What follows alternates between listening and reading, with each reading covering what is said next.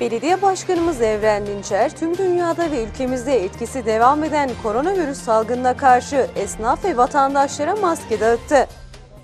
Kılıçarslan Mahallesi Bediüzzaman Caddesi'nde faaliyet gösteren esnafları ziyaret eden Belediye Başkanımız Evren Dinçer, esnaflarla uzun uzun sohbet etti. Belediye Başkanımız Evren Dinçer, ziyaret ettiği esnaflara salgının hala bitmediğini ve tedbirlerin devam ettiğini söyledi. Belediye Başkanımız Evren Dinçer, sosyal mesafeye uyulmasını, hijyen kurallarını ve maske kullanımının salgınla mücadelede önemli faktörler olduğunu hatırlattı.